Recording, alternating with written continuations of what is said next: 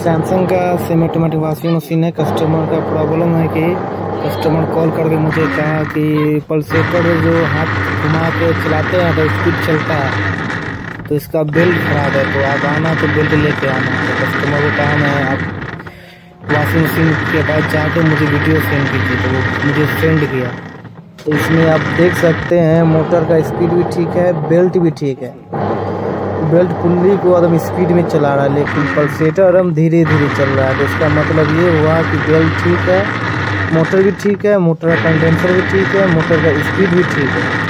Motor motor belt को speed में घुमा रहा है, लेकिन जो पल्सेटर है वो स्पीड में नहीं घूम रहा है।